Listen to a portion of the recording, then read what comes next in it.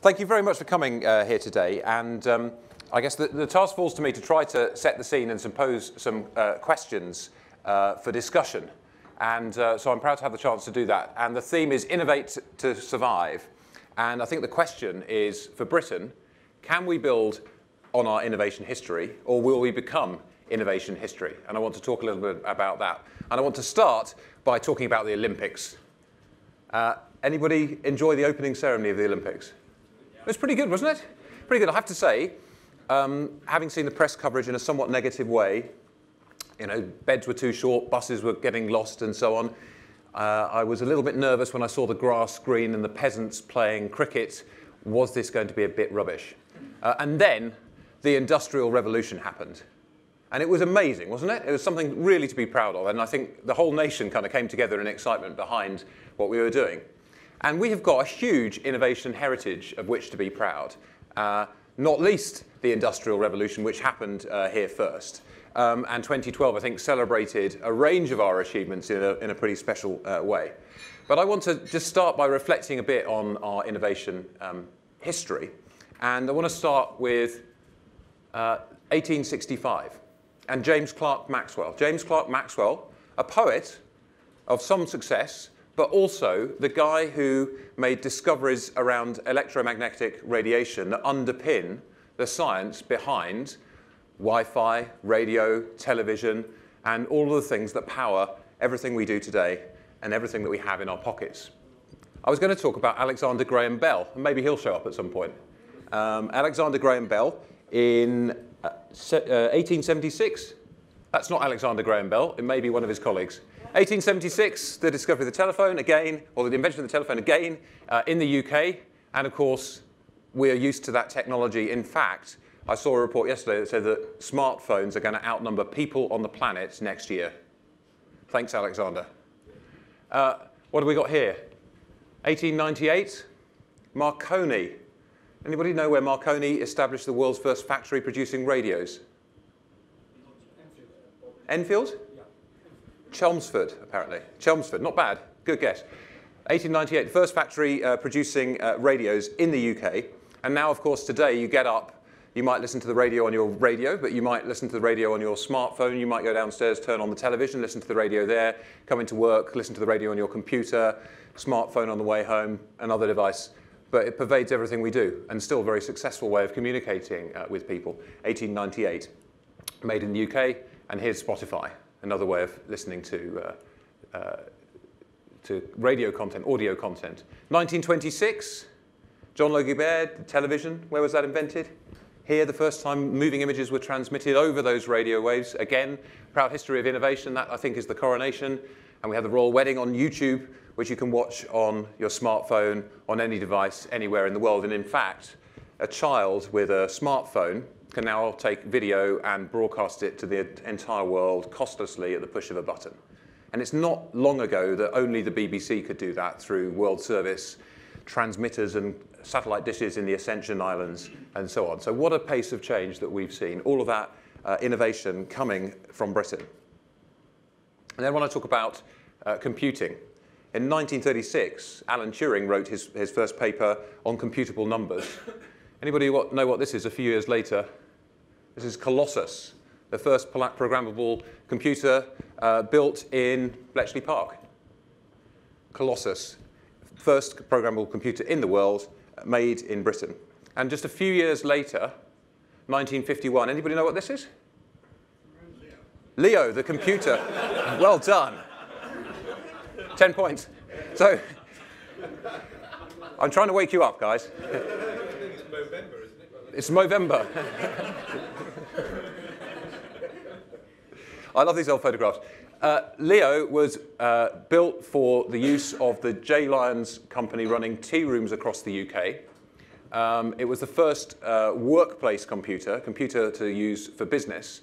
And the interesting thing is um, they had excess capacity, and you could buy time on Leo, and they sold it, uh, amongst others, to Ford for their payroll processing. And today we have Amazon with the world's leading cloud computing business based on selling off the surplus capacity that they have in their infrastructure. Uh, so the model was invented here in Britain in the 1950s. 1981, BBC, BBC Micro. Anybody have one of these? A few people? Um, this was an amazing uh, phase for computing in the world, and Britain was world leading. This brought computing into the home and into the classroom for the first time. Now, I couldn't afford one of these, but in 1982, I was able to get hold of one of these. Anybody have one of these? Sinclair ZX Spectrum. Fantastic device. Rubbery keyboard, impossible to type on, and a little tape recorder that went round and round making a buzzing noise. Invented here in Cambridge. The other day I was talking to some politicians and saying it's a shame that Google wasn't invented in Cambridge and all of these other great internet companies weren't invented in the UK because we had the technology and we had the computer scientists at that time. What happened? Today, we're used to having computers everywhere. I've now got, alongside my ZX Spectrum, I've got a what's called a Chromebook. This is built by Samsung. This cost 200, 229 pounds boots up in four seconds and connects to the entire web, and all of the computing and access to the web is done on this device. Um, and that's helping computers get into every room in the house, into schools, and really uh, making access to the web much cheaper and easier for everybody. And a device like this doesn't have any software on it that you need to manage. So everything's done in the internet. It makes it incredibly simple um, for everybody to be able to, uh, to use. And then, of course, the World Wide Web. I didn't realize this, but you can actually access the first ever web page still. I had a look at it yesterday. This is, this is the page that Tim Berners-Lee put together uh, in 1991 working at CERN, again, uh, produced by Britain, that led to the foundation of the World Wide Web. And we know this is for everyone. We now have 2.4 billion people around the world connected to the web. A billion people on Facebook, 800 million people actively on YouTube. This is people not just reading the web, as you could with that first web page, but producing the web. We're all producing the web, uh, videos, tweets, status updates, comments, reviews. We're all producing the web, 2.4 billion people. And by the end of the decade, there will be 5 billion people online on the planet. So this is something that is at the beginning of a second industrial revolution. We're at the beginning of that re revolution. So how are we doing in the UK? Given that history, given the fact that all of our science and invention and innovation has underpinned everything uh, that powers the modern world of the web, how are we doing uh, in the UK? actually pretty well. And this is a, a story that I think is not well told and not well known. Let's look at some basic facts around the UK. This is the percentage of GDP that comes from the internet economy. So the internet economy, which is consumers and businesses buying things online, the infrastructure that's associated uh, with doing all of that, and the products and services that are uh, bought and sold online. And this is from some work by uh, Boston Consulting Group. And you can see here, this is uh, 2010. And you can see the UK, with 8% of GDP coming from the internet economy, is ahead of Germany, France, Italy, Russia, South Korea, China, and the US. We're a nation of digital shopkeepers in the UK. What is behind this?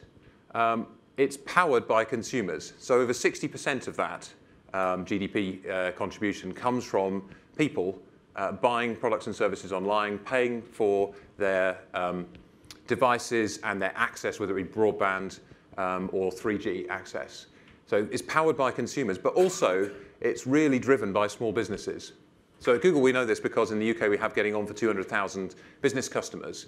Um, and they are small businesses that are reaching the entire uh, web, the entire world. You don't have to start up and be focused on your local area or your national market. You can be focused on a global market of potentially 2.4 billion people from the start. So the internet economy in the UK is doing well. Um, it's hard to see because, like the early days of electricity, it's scattered across all the different sectors. And we think about transport, we think about communication, and we think about utilities as sectors. And the internet economy is a bit like the early days of electricity. People are using it, some of them, in some places. When electricity started, some companies had a head of electricity because it was new and it could kill you. And in some companies now, you'll find that there's a head of digital or a head of e-commerce. And I think that's because it's new. I don't think it can kill you, um, but it is difficult for people to understand it. And I think it won't be uh, very long before people realize that the internet and the real world are the same place. And actually, that the internet can help us be more productive and effective and better in touch with our customers, whatever we do uh, in business. So that's 2010. Projection for 2016, based on kind of growth rates and the underlying drivers here, is 12% of GDP in the UK coming from the internet economy, at a time when um, other sectors' growth are uh, quite sluggish. So there's a good opportunity for us to retain our lead there. And as I say, that's driven by consumers and it's driven by small businesses. When our infrastructure and a bunch of the other stuff associated with the internet is no better than anybody else's. We just got off to a good start. We've got good, competitive, good, good competition amongst the companies that are online. Uh, we've got a good degree of innovation in our small businesses. And actually now what you're seeing is some of the larger businesses are starting to make sense of this. So when I started at Google, my job was to look after our business and operations in the UK. And I'd look at the top 10 online retailers. And when I started uh, nearly six years ago, uh, the top 10 online retailers were online retailers. And now, over half of them are offline retailers. They're the high street names that you know and trust. And what that says is that traditional businesses are starting to understand that the internet and the real world are the same place. And if you look at somebody like John Lewis, they're very good now at making the value proposition on the website and the, in the store uh, match up and having the store people enthusiastic about the website. When they started, the store people thought the website was going to kill them.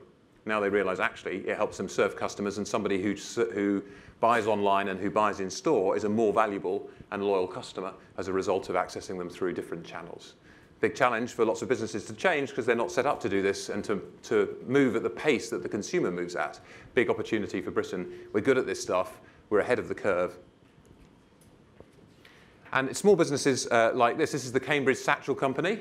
This was started by a mother in her kitchen with 600 pounds.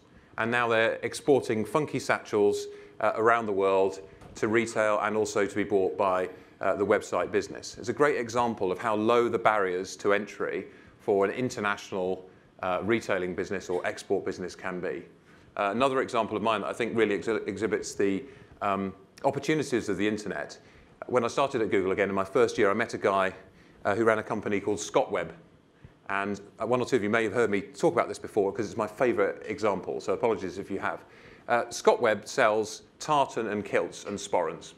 And how do you do that in the traditional world? You find a location where you can get a shop where people in the market for tartan and kilts and sporrans might be passing by, so potentially Edinburgh. And then hopefully you have some attractive window displays that people come into the shop, they buy your stuff, they might even let you take their name and address and send you a, a catalogue or a mailer every so often. That's the way to do it. At some point, you know, your local market has probably got enough tartan skirts and you may have saturated the demand. How do you grow beyond that? Because if you start to reach further and further afield with traditional marketing, it's very hard to know whether you're catching people at the right time when they're in the market for traditional Scottish gear. But going online, every time somebody types kilt or tartan or sporran into Google anywhere in the world, ScotWeb can appear. And so they can actually create uh, the uh, products and services you want. This is, they've got a great website, by the way. This is the Google tartan, which they kindly created. For. I think it's rather too tasteful actually. But if you go to their website, you can make your own tartan. They've been so successful, they've been able to save a, a traditional uh, weaving mill called Dalgleish Limited, which was going to close because of the demand that they've been able to generate um, for traditional Scottish merchandise. 70% of their sales now come from outside Scotland. That kind of success story is happening day in, day out. And the small businesses that are using the internet uh, with a website and doing online marketing, either with Google or other people who are also good at this stuff, those small businesses are growing between two and four times faster than those that don't use the web. There's a big growth gap. The, the web using businesses are growing faster. They're exporting more. In fact, double the proportion of sales are coming from exports in web using businesses than those that aren't using the web. And they're uh, producing and creating growth. So Cambridge Satchel Company going from a kitchen operation to starting to employ people. That's happening at a small scale, but across hundreds of thousands of businesses. We've done a program uh, over the last couple of years in the UK called Getting British Business Online, which is designed to encourage people who think that the web's not for them to build their own website with no technical knowledge in less than 30 minutes. And we've had nearly 200,000 businesses go through that process to get online. It's not difficult, and it can be fast, and it can be done with no technical knowledge now. It's a huge opportunity. And those that aren't online, we know, are not growing as fast and not being uh, as successful. So what will we make of this opportunity we have this heritage, we have this history of innovation, we're actually quite good at being a nation of digital shopkeepers. What will we make of this? And this is, this is where I wanted to try to sort of start to frame some questions, hopefully that uh, there'll be an opportunity to discuss as we go through the day. Uh, well, let's look at uh, households in the UK. There are currently um, 16 million adults that lack basic online skills in the UK. 16 million adults who um, are not skilled up enough to use email or search or the basic services uh, of the web. 8 million people in the UK who have never used the internet. Now, obviously, you might say, well, yeah, you care about that because you're Google, but actually, UK should care about it because being online, we know uh, from independent research, saves households on average £550 per annum because they're able to find goods and services at better prices and shop around. Uh, they have access to a range of free services where the alternatives cost. So, for example, email rather than sending things through the mail, or Skype rather than international telephone call rates. Um, and there's a consumer surplus from all of the free um, stuff and activity and entertainment and um, in, uh, information and education that they can gain, gain online. And that has been estimated by economists to be worth 5 to 7% of uh, the average income, which would equate to about £1,400 a year. And uh, Martha Lane Fox did some great work on Race Online 2012, where she tried to quantify the value of moving one or two government interactions to households, and that's worth hundreds of pounds a year as well. So there's a benefit uh, to the UK economy. There's a benefit also to households accessing products and services at better prices. There's a benefit to the educational standards achieved in those households and actually to the access to job opportunities uh, that those households have. So it's important um, as a matter of social policy and economic policy for us to think about how we can help those uh, remaining households get some of these benefits. And on the business side, I've talked briefly about the opportunity for businesses to grow faster and access international demand in a very efficient way. But it's not just about that, it's also business productivity, IT productivity. So um, great example recently, ITV have started using uh, Google uh, services, so documents and email and so on. Um, moving in, and there are others available, and they're all perfectly good. Moving from having them in your own IT, where you have to install disks in every computer and have lots of IT people around to um, reboot everything all the time, versus having something in the cloud where you just need a simple browser, makes it much more cost efficient. But also, the benefits are not so much cost, they're the collaboration. So ITV were talking about an example where they had a production team working in lots of locations around a particular show, um, and it would take uh, typically 13 hours of scripting and emailing versions of scripts backwards and forwards between people to get things sorted. Now, because they can all collaborate on a Google Doc at the same time, which they're all working on at the same time, it's done in 45 minutes. Apparently the show is called Loose Women. Has anybody seen that? No? I don't know whether the script's good or not, but um, at least it's saving them time doing it. Um, and businesses can get information from the web. So one of the things that uh, our teams in the UK talk to retail businesses about, for example, is using tools like Google Trends. Google Trends allows you to get a snapshot of the level of searches for any word um, over time. And you can cut it by country, you can cut it by uh, industry sector that you're in, and you can uh, get some uh, useful data, not about what people told you in a survey three months ago uh, they wanted to do, but what they're actually searching on Google for right now. It's not personal data, it's just you know, millions of people over time are searching for these things. And what retailers are able to do is look at if, I don't know, maxi dress is an example that I think is an interesting one. You can see that that's a seasonal level of interest over time. You can also see, if you go, the trend goes back to 2007, you can see that maxi dress has actually become more and more popular uh, over time. Actually, I think it's falling away now, so I would invest, don't invest in any more maxi dresses if you're in the market for those things. It looks like the trend's gone off the boil. But if you think about that for a minute, even if you don't have a website and you don't want to sell maxi dresses online, understanding that maxi dresses are becoming more popular and understanding the seasonality of interest will help you manage your working capital better, help you buy the right stuff at the right time and then sell out of it so you don't let, get left with a load of stock to write off. So businesses are using that kind of real-time data uh, to run better and make smarter uh, decisions. There's a big opportunity for productivity, collaboration, and better insight uh, for businesses.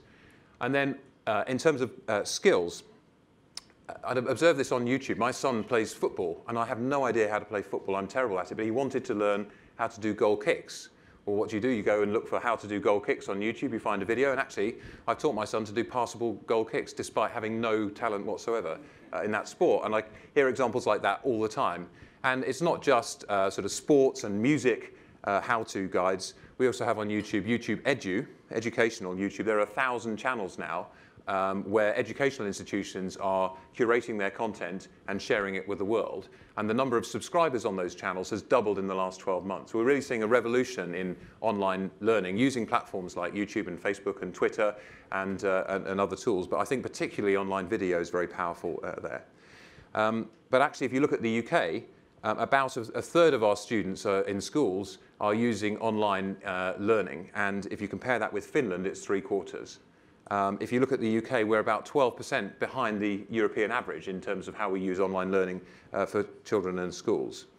Um, and there are 800,000 children who have no internet access at home. And school, schools are starting to set homework, you know, encouraging them to use the internet, and there's 800,000 of them who don't even have internet access at home. And then in the particular specific skills area of computer science, I think this is a real shame. I think Alan Turing uh, would not be happy to see where this has gone. And I think you know, the guys who are building uh, the BBC Micro and the Sinclair Spectrum might be concerned that we're not making the most of our uh, innovation heritage here. Um, the IBM CEO said that last year they had a bunch of jobs in the UK to fill, technical jobs, information technology jobs. One in five of those jobs went unfilled because they couldn't find the candidates. Um, in the 1980s, we were the gold standard here, and in 2011, the percentage of A-level students taking computer science was 0.5%. I feel that's a real shame. That's one of the challenges uh, for the UK. And I think it's great to see the work that Ian Livingstone has done for the government to try to encourage people back to an agenda where IT doesn't mean learning how to use PowerPoint, it means learning how to write code and writing apps. And I think it's uh, a big step forward that we start to get our children inspired to do that. It'd be great to see the BBC doing something like the BBC Micro uh, again to drive computer literacy. The Raspberry Pi might be a part of that uh, program, let's hope so.